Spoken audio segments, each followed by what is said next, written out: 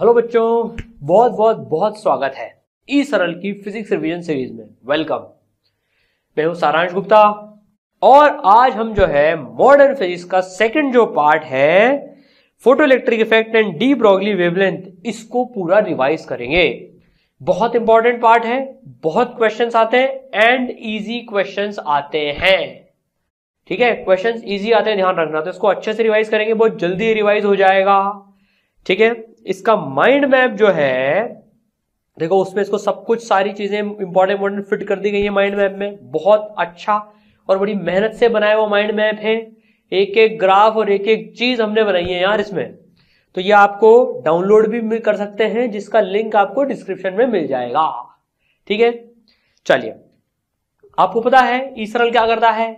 ई सरल एक प्रिपेयर करने की ऐप है आई जे नीट की और फाउंडेशन क्लासेस की भी।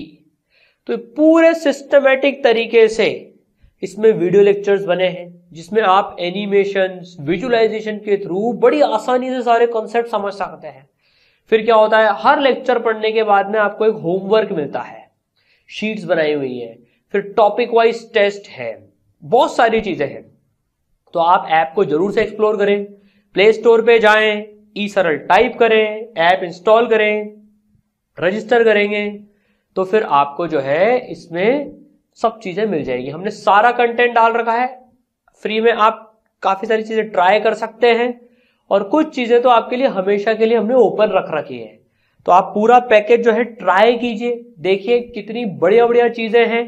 और there are things which are absolutely absolutely free हमेशा जो आपके लिए कुछ चीज़ें फ्री रहेंगी, उनको एक्सप्लोर कीजिए, ठीक है? चलिए भाई रिवाइज स्टार्ट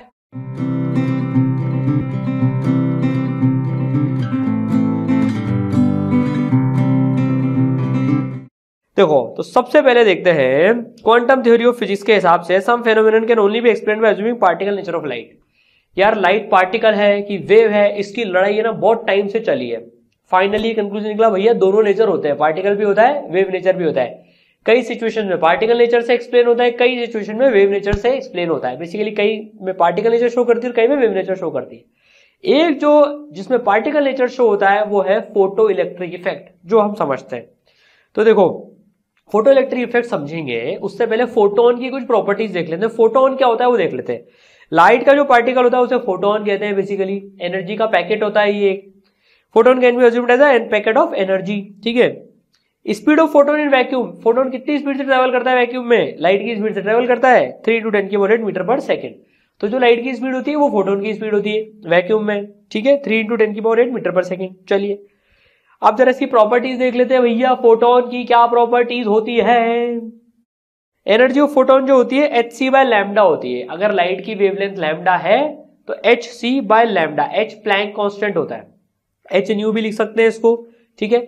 इसको अगर हम सॉल्व करें न्यू फ्रीक्वेंसी होती है, इसको सॉल्व करें तो ये एनर्जी आ जाती है one two four two by lambda अगर लैमडा को नैनोमीटर में डालेंगे नैनोमीटर मतलब टेन की पावर माइनस नाइन मीटर में डालेंगे तो वन टू फोर टू इसको approximately one two four zero भी यूज़ कर लेते हैं।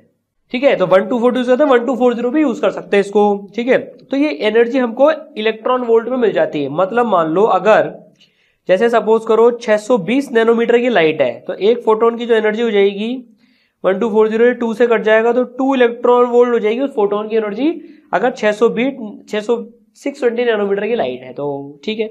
चलो भाई, बहुत अच्छी बात, समझ में आ गई से बात ये। Now one electron volt is one point six minus nineteen joules पता है हमको ये? मोमेंटम ऑफ़ फोटोन कितना होता है? एच बाय लैमडा मतलब E by C energy by C तो एच बाय लैमडा फोटोन का मोमेंटम देता है हमको। ठीक है?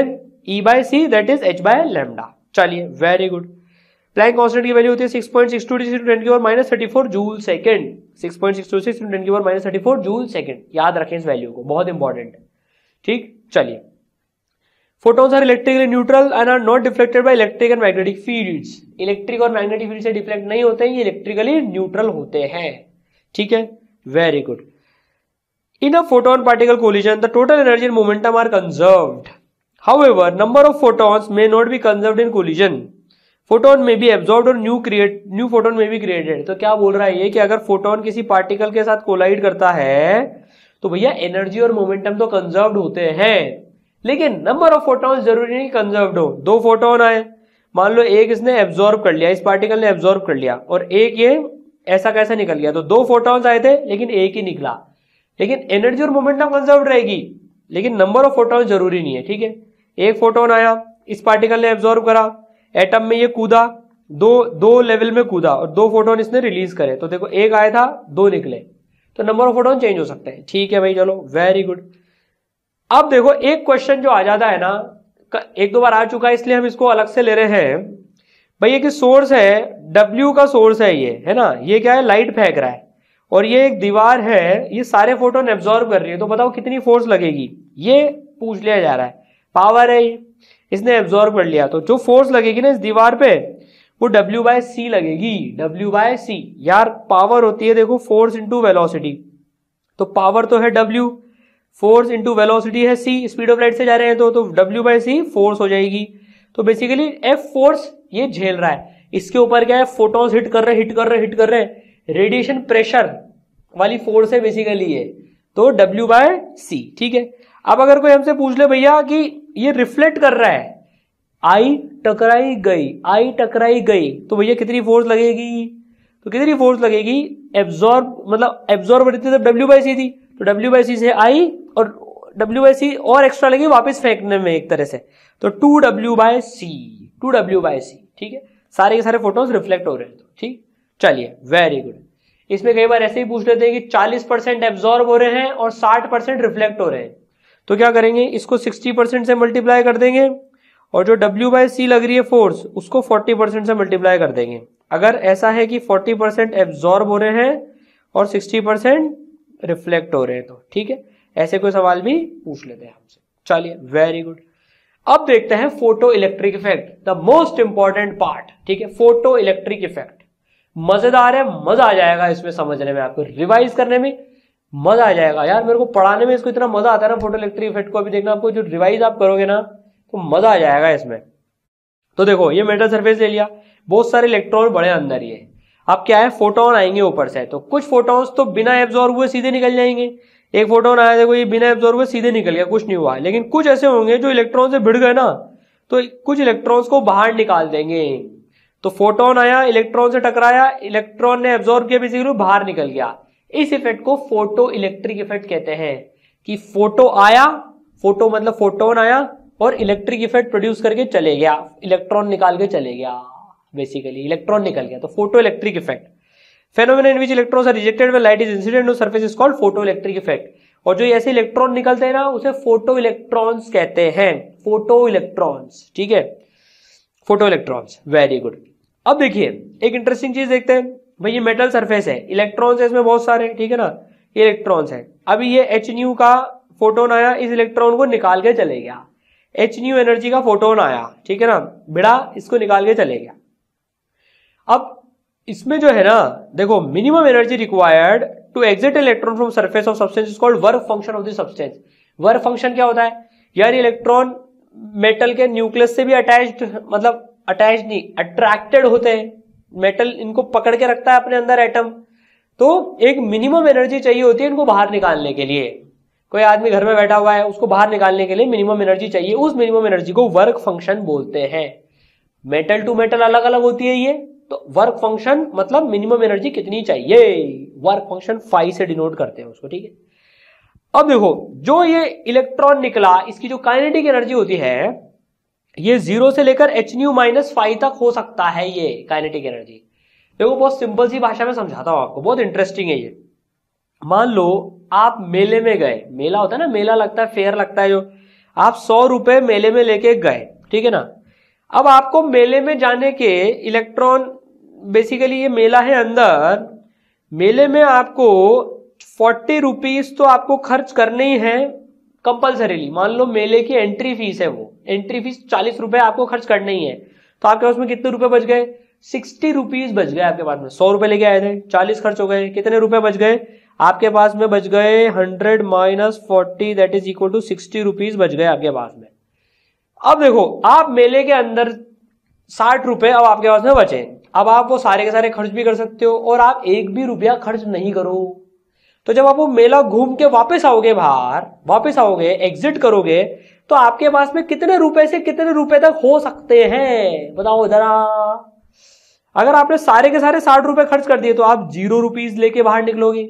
और आप कंजूस हो मान लो, या मेले में कुछ खर्च करने का मन नहीं हुआ तो आप सारे साठ के साठ रुपए लेके बाहर निकलोगे। तो जो आपका जो जेब में जो पैसे बचेंगे, वो ज़ीरो से सिक्सटी बचेंगे। वापस समझो, सौ रुपए लेके आए चालीस कंपलसरी सबको खर्च करने अंदर। जो भी मेले के बाहर निकलना चाहता है, उसको चालीस रुपए तो एंट्री फ़ीस पहले घुसने की देनी पड़ेगी। तो भैया, आप मेले के बाहर ज़ीरो से साठ रुपए में निकल सकते हो। इलेक्ट्रॉन भी उसी तरीके से काइनेटिक एनर्जी ज़ीरो से लेकर एच न्यू माइनस फाइव भाई एच न्यू तो फोटोन ने दी। फाइव उसको कंपलसरी खर्च करनी है मेटल से बाहर निकलने के लिए। ये तो मिनिमम एनर्जी खर्च करनी है ही सही। तो काइनेटिक एनर्जी सबसे ज़्यादा से ज़्यादा कितनी लेके निकल सकता है वो? इतना जितना उसको मिला माइनस मिनिमम खर्चा जो करना है, साठ रुपए। और मिनिमम काइनेटिक एनर्जी कितनी लेके निकल सकता है? कोई सारे पैसे उड़ा के आया अंदर। तो वो ज़ीरो पैसे लेके बाहर निकलेगा जस्ट बाहर निकल जाएगा वो। ज़ीरो रुपीज़ लेकर। तो काइनेटिक एनर्जी ज़ीरो से एच न्यू माइनस फाइव हो सकती है।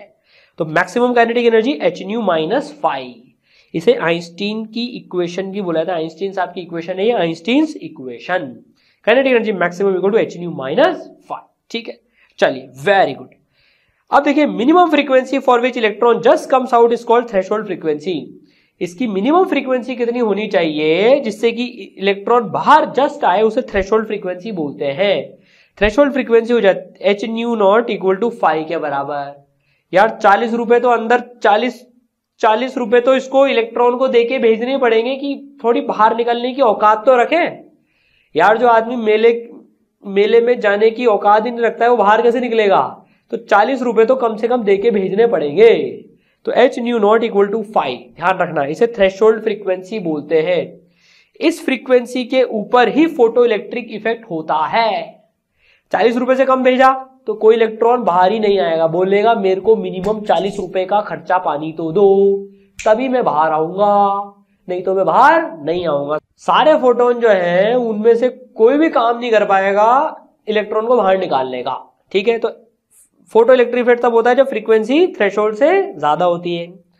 Kinetic energy maximum h nu minus five five की वैल्यू एच म्यू नॉट भी रख सकते हैं तो ये हो जाएगी h mu minus mu not f frequency f f minus f not भी बोल सकते हैं इसको, ठीक है? समझ में आ गई बात? समझ में आ गई। यही सेम कहानी। वेवलेंथ में देख लेते हैं। मैक्सिमम वेवलेंथ फ्रीक्वेंसी मिनिमम तो wavelength maximum for which electron just comes out is called threshold wavelength देखो h nu not is equal to h c by lambda not होगा। H mu not equal to h c by lambda not होगा। तो frequency minimum है तो wavelength maximum होगी। क्योंकि wavelength ज़्यादा होती है तो एनर्जी कम होती जाती है। तो इस लैमडा नोट से तो h c by lambda not equal to five भाई ये एच म्यू नॉट के बराबर है। म्यू नॉट की value c by lambda not रख दी। ठीक है? फ़ोटो इलेक्ट्रिक इफ़ेक्ट होगा जब लैमडा लैमडा नोट से कम होगी तो। वेवलेंथ कम होती है तो एनर्जी ज़्यादा होती है। ठीक है? तो बस ये रख दिया। H c one by lambda minus one by lambda not हो जाएगी। समझ गए? समझ गए सर ठीक है? चलिए। अब इसका सेटअप देख लेते हैं। देखो, ये फ़ोटो इलेक्ट्रिक इफ़ेक्ट का सेटअप होता है। तो देखो, ये जो है, ये है कैथोड है ये, है ना? और ये जो है, ये है एनोड है। अभी हम इसका एनिमेशन यहाँ पर नहीं देखेंगे। वो आप फुल लेक्चर ईसरा लैब में देखोगे तो पूरा एनिमेशन वगैरह सब मिल जाएगा उसमें। पूरा एक एक चीज़ का एनिमेशन है। यहाँ तो अभी रिवाइज कर रहे हैं अपन। यहाँ बैटरी लग रही है, ये नेगेटिव टर्मिनल ये पॉजिटिव टर्मिनल ठीक है ना? ये एनोड ये कैथोड अब यहाँ से जो लाइट डालेंगे तो कैथोड से फ़ोटो इलेक्ट्रॉन्स निकलेंगे। अब ये एनोड पॉजिटिवली चार्ज है तो ये क्या होगा? इलेक्ट्रॉन्स को अट्रैक्ट करेगी अपनी तरफ़, ठीक है? इसकी पोटेंशियल मान लो वी ए इसकी पोटेंशियल मान लो सी तो अगर हम करंट का ग्राफ बनाएँगे ना, यहाँ से जो इलेक्ट्रॉन्स निकल रहे हैं, उनसे जो करंट है, उसे फ़ोटो इलेक्ट्रिक करंट बोलते हैं। तो अगर हम ग्राफ बनाएँगे, देखो I versus V A minus VC का तो कुछ ऐसा ग्राफ बनेगा। आई एस जो है वो सेचुरेशन करंट है। अभी समझते देखो इसमें क्या हो रहा है। ये ग्राफ ध्यान रखना। और ये वीएसपी क्या है, ये भी समझेंगे। देखो वी ए माइनस वीसी देखो तो इसमें क्या है? बहुत सिंपल सी चीज़ है। मान लो हमने बैटरी नहीं लगा रखी है, मान लो यहाँ पर। इन दोनों की पोटेंशियल बराबर है। तो कुछ जो इलेक्ट्रॉन्स निकल रहे हैं, वो अपने आप जितने पहुँच जाएँगे, वो उतने पहुँच जाएँगे यहाँ पर। कुछ नहीं पहुंचेंगी। जैसे जैसे हम वीए को बढ़ाएँगे वीसी के कंपैरिजन में तो ये पॉजिटिव टर्मिनल की वोल्टेज ज़्यादा बढ़ रही है।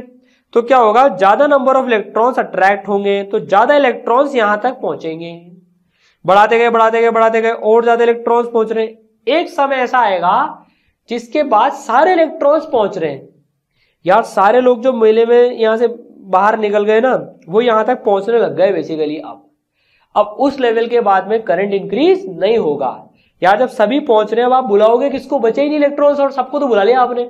इसलिए सेचुरेशन करंट आ चुका है। उससे ज़्यादा करंट नहीं बढ़ेगा, चाहे वी एम कितनी कर लो। ठीक है? तो ये पार्ट तो समझ में आया ज़ीरो से लेकर यहाँ तक का। अब ये नेगेटिव का क्या खेल है? देखते हैं जरा। नेगेटिव का क्या खेल है? देखो, ये हमारी कैथोड ये हमारी एनोड होती है। ठीक है ना? बेसिकली इसको कैथोड एनोड नहीं बोल रहे अभी। अब हमने ये, यहाँ पॉजिटिव टर्मिनल और ये ये वैल्यू पलट दी तो ये पॉजिटिव हो गया और ये नेगेटिव हो गया। लाइट यहाँ से आ रही है लाइट यहाँ से आ रही है, यहाँ से इलेक्ट्रॉन निकलेंगे, कुछ एनर्जी के साथ इलेक्ट्रॉन निकल रहे हैं। लेकिन अब क्या होगा जैसे इसकी पॉजिटिव वैल्यू हम बढ़ाएँगे ना तो ये इलेक्ट्रॉन्स को वापस अपनी तरफ़ खींचना स्टार्ट करेगा। तो जो कुछ जो पहुँच रहे थे यहाँ तक, जैसे जैसे ये पॉजिटिव बढ़ाएँगे, वो पहुँचना बंद कर देंगे, वो भी नहीं पहुँचेंगे जस्ट यहाँ जाके ये ऐसे लौट के आ जाएगा। एक वैल्यू ऐसी आएगी वी ए माइनस वीसी की इतनी नेगेटिव वैल्यू आएगी मतलब ये इतना पॉजिटिव हो जाएगा कि कोई इलेक्ट्रॉन यहाँ पर नहीं पहुँच रहा है करंट ज़ीरो मिल रहा है। उसे बोलते हैं हम, इसे बोलते हैं हम स्टॉपिंग पोटेंशियल क्या बोलते हैं इसे हम? इसे बोलते हैं हम स्टॉपिंग वोल्टेज या स्टॉपिंग पोटेंशियल बोलते हैं कि बैटरी का कितना पोटेंशियल आपने रख दिया स्टॉपिंग पोटेंशियल कि ये करंट ज़ीरो हो गया। समझ गए? ज़ीरो करंट हो गया, ठीक है? तो स्टॉपिंग पोटेंशियल की डेफिनेशन भी देख लेते नेगेटिव वोल्टेज उतनी कि जिससे कि सारे इलेक्ट्रॉन वापस में घुस जाए, यहाँ कोई नहीं पहुँचे। वो वीएसपी हो गया, ठीक है? तो बेसिकली जब आपने सबसे पावरफुल इलेक्ट्रॉन को मतलब सबसे ज़्यादा काइनेटिक एनर्जी वाले इलेक्ट्रॉन को वापस यहाँ बुला लिया ना अपनी तरफ़, वापस यहाँ बुला लिया अपनी तरफ़ तो आपका काम हो गया और कोई नहीं पहुँच पाएगा। यार, हर इलेक्ट्रॉन अलग काइनेटिक एनर्जी लेके आ रहा है, मान लो। भाई ज़ीरो से लेकर काइनेटिक एनर्जी मैक्सिमम तक इलेक्ट्रॉन्स के पास है। ज़ीरो से लेकर साठ रुपए तक लेके निकल रहे हैं सब। तो अगर आपने साठ रुपए वाले को वापस बुला लेना, सबसे महँगे वाले इलेक्ट्रॉन को मतलब सबसे ज़्यादा काइनेटिक एनर्जी वाले इलेक्ट्रॉन को तो बाकी और कोई पहुंचेगा ही नहीं, ठीक है? तो चलिए तो the value of VC minus V at which photo current just stop is called stopping potential VSP stopping potential ठीक है? The maximum value of photo electric current is called saturation current ये दोनों चीज़ें देख ली हमने। E V S P equal to kinetic energy maximum तो देखो, ये जो इक्वेशन है ना बेसिकली से रिलेटेड है e V S P is equal to K E maximum जो मैक्सिमम इलेक्ट्रॉन मैक्सिमम काइनेटिक जो इलेक्ट्रॉन निकल रहा है, उसको हमने जस्ट या कैथोड से एनोड पे जस्ट इस पोटेंशियल के through e V S P जो है, उस पर लगा के जस्ट इसको वापस पलटी करवा लिया। तो V e V S P energy से काउंटर करवा ली, ये काइनेटिक एनर्जी बेसिकली ठीक है तो ध्यान रखना e V S P equal to kinetic energy maximum चलिए very good h nu minus five हो जाएगा वो। बहुत बढ़िया। अब देखिए इंटेंसिटी के साथ वेरिएशन देखते हैं जरा अपन। इंटेंसिटी बढ़ा देना इंटेंसिटी कैसे बढ़ा रहे हैं? फ्रीक्वेंसी सेम रख के बढ़ा रहे हैं। देखो तो ये 450 नैनोमीटर की लाइट ले रखी है एक्सपेरिमेंट करते हैं। कम इंटेंसिटी करी। इंटेंसिटी बढ़ा दी मतलब नंबर ऑफ़ फोटॉन्स बढ़ा दिए। फ्रीक्वेंसी सेम रख के इंटेंसिटी बढ़ा रहे हैं मतलब नंबर ऑफ़ फोटॉन्स बढ़ा दिए देखो इंटेंसिटी बढ़ाई तो नंबर ऑफ़ फोटॉन्स बढ़ेंगे तो ज़्यादा इलेक्ट्रॉन निकलेंगे तो ज़्यादा यहाँ पर पहुँचेंगे। तो उसी प्रपोर्शन में करंट बढ़ेगा। प्रोवाइडेड फ्रीक्वेंसी सेम रख रखी है तो हर एक फोटोन की एनर्जी सेम है। बस इंटेंसिटी बढ़ा दी मतलब नंबर ऑफ़ फोटॉन्स बढ़ा दिए। तो जितने ज़्यादा फोटॉन्स आएँगे, उतने ज़्यादा इलेक्ट्रॉन्स बाहर निकलेंगे, उतना ज़्यादा करंट आएगा। तो the number of photoelectrons emitted per second is directly proportional to intensity of incident radiation. Graph बनाए अगर I versus intensity of light का तो for mu greater than mu not भाई इलेक्ट्रॉन निकलने तो चाहिए फ़ोटो इलेक्ट्रिक इफ़ेक्ट होना तो चाहिए तो फ्रीक्वेंसी म्यू नॉट से ज़्यादा है। तो स्ट्रेट लाइन ग्राफ आता है इंटेंसिटी बढ़ाने से क्या होता है? काइनेटिक एनर्जी मैक्सिमम भी उतनी रहती है। काइनेटिक एनर्जी मैक्सिमम अभी भी जो है काइनेटिक एनर्जी मैक्सिमम तो एच न्यू माइनस फाइव ही रहेगी। बस नंबर ऑफ़ इलेक्ट्रॉन ज़्यादा हो जाएँगे। इसी चीज़ से तो फ़ोटो इलेक्ट्रिक इफ़ेक्ट से पता पड़ा था कि पार्टिकल नेचर होता है पार्टिकल का। वो पार्टिकल नेचर भी होता है लाइट का। कि हम इंटेंसिटी जब mu less than mu not पे हम इंटेंसिटी बढ़ाते जा रहे थे, बढ़ाते जा रहे थे, बढ़ाते जा रहे थे ना, और देर तक भी लाइट फेंक रहे थे तो भी कोई इलेक्ट्रॉन बाहर नहीं आ रहा था। तो पता पड़ा यार पार्टिकल नेचर है mu greater than mu not होगी, तभी जाकर पार्टिकल वो इलेक्ट्रॉन बाहर निकलेगा। ठीक है? चलिए। तो भाई, अगर ग्राफ बनाए हम तो देखिए, एक ग्राफ हमने ये बनाया आई वन इंटेंसिटी पे, एक ग्राफ ये बनाया आई टू इंटेंसिटी पे, एक ग्राफ ये बनाया आई थ्री इंटेंसिटी पे। सेम मेटल है तो वर्क फ़ंक्शन सेम हो गया। तो I three greater than I two greater than I one VSP same है सबकी। वीएसपी सेम है क्योंकि फ्रीक्वेंसी सेम है। तो e V S P is equal to kinetic energy maximum that is equal to h nu minus five तो nu same है। मतलब frequency same है तो वीएसपी भी सेम होगी इंटेंसिटी बढ़ाने पे बस करंट सेचुरेशन करंट की, जो सेचुरेशन करंट है, उसकी वैल्यू बढ़ रही है बस। ठीक है? समझ गए? याद रखना है ग्राफ। तो इंटेंसिटी फ्रीक्वेंसी सेम रखते हुए बढ़ाई गई है। चलिए, बहुत बढ़िया। अब देखते हैं, अगर हम एक म्यू वन अब फ्रीक्वेंसी बदलते हैं। फ्रीक्वेंसी बदली। फ्रीक्वेंसी एक रखी म्यू वन तो ये वी एस पी वन हो गई। फ्रीक्वेंसी दूसरी रखी। तो ये वी म्यू टू पे वी एस पी टू हो गई। अब यार फ्रीक्वेंसी बदली हमने। पावरफुल फोटोन्स भेज रहे हैं तो ज़्यादा काइनेटिक एनर्जी वाला निकलेगा। मेटल सेम है। जब एक पावरफुल फोटोन भेजा तो ज़्यादा काइनेटिक एनर्जी वाला निकलेगा। ज़्यादा काइनेटिक एनर्जी निकलेगा तो उसके लिए ज़्यादा वीएसपी भी चाहिए होगी रोकने के लिए। ठीक है तो mu one is greater than mu two. Mu one is greater than mu two. V S P one is greater than V S P two ठीक है? जिसकी फ्रीक्वेंसी ज़्यादा होगी, भाई एक ही मेटल है, दो फोटोन्स भेजे हमने, एक फ्रीक्वेंसी म्यू वन का, एक फ्रीक्वेंसी म्यू टू का, मान लो, दो टाइप्स के फोटोन भेज रहे हैं अपन। ये इससे ज़्यादा एनर्जी का है। तो ये जो इलेक्ट्रॉन निकालेगा, उसकी काइनेटिक एनर्जी मैक्सिमम होगी एच इसकी काइनेटिक एनर्जी मैक्सिमम होगी h nu one minus five और इसकी जो काइनेटिक एनर्जी मैक्सिमम होगी, वो होगी h nu two minus five ये ज़्यादा होगी इससे तो ये e V S P one के बराबर है। और ये e V S P two के बराबर है। ठीक है? चलिए, समझ में आया। नाउ वीएसपी और फ्रीक्वेंसी के बीच में ग्राफ देखते हैं जरा। तो भाई e V S P equal to h nu minus five होता है तो V S P equal to h by e mu minus five by e तो V S P versus mu frequency का ग्राफ बनाएँगे अगर अपन तो इसका ग्राफ स्ट्रेट लाइन करवाएगा देखो। स्ट्रेट लाइन करवाएगा जिसका intercept minus five by e आएगा। ये ध्यान रखना इंपॉर्टेंट है। जिसका intercept minus five by e आएगा। ठीक है? स्लोप देखो, सबके लिए सेम है। स्लोप जो है एच बाई ई है मेटल्स के इंडिपेंडेंट है। अपन ने एक मेटल लिया, दूसरा मेटल लिया। एक मेटल का फाइव वन कम है, दूसरे का फाइव टू ज़्यादा है वर्क फ़ंक्शन ज़्यादा है। तो दोनों के लिए स्लोप सेम होगी पैरेलल लाइन होगी ये। एच बाई ई की स्लोप होगी, ठीक है? ये ग्राफ ध्यान रखना। चलिए, बहुत बढ़िया। अब देखते हैं जरा हम de Broglie wavelength particle nature की बात होगी पर अब डुअल नेचर होता है। मैटर के पास भी वेव नेचर होता है, वो डी ब्रॉगली साहब ने बताया।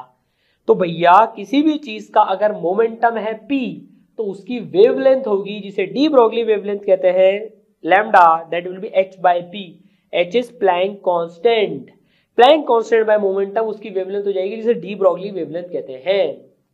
बहुत इंपॉर्टेंट है डायरेक्ट क्वेश्चन आते हो सीधे फॉर्मूला लगाना होता है इसमें, ठीक है? तो काइनेटिक एनर्जी होती है p square by two m यार पी मोमेंटम है।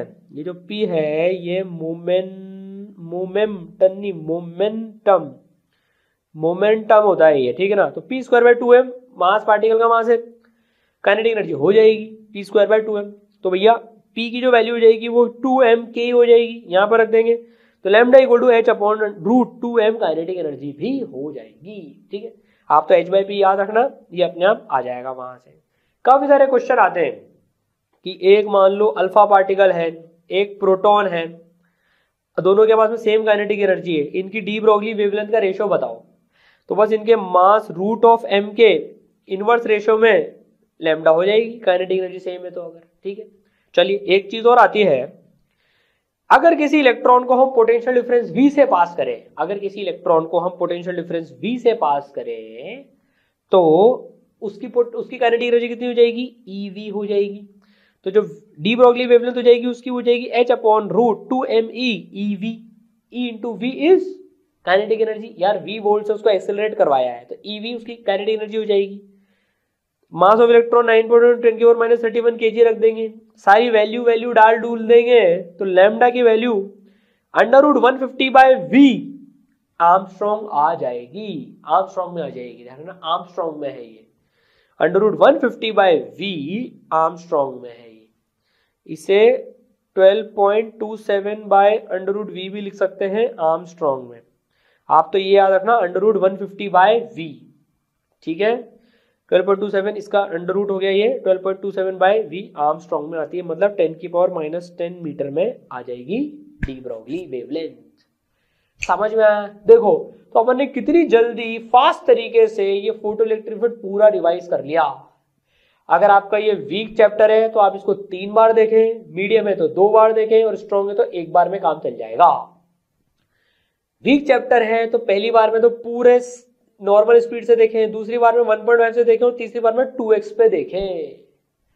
ठीक है मीडियम है तो वन एक्स पे पहले देखें, और फिर टू एक्स पे सेकेंड राउंड में देख लें। याद हो जाएँगे, सारे ग्राफ याद हो जाएँगे। हमने सब कुछ कवर कर लिया है इसमें। ठीक है? तो चलिए, मस्त रिवाइज करिए ई सरल का चैनल सब्सक्राइब कीजिए, दोस्तों को बताइए। हमारी टीम को भी बहुत मोटिवेशन मिलेगा यार। जितने ज़्यादा लोग इस वीडियो को देखेंगे ना, उतना ही मोटिवेशन मिलेगा टीम को भी। चलिए ऑल दी बेस्ट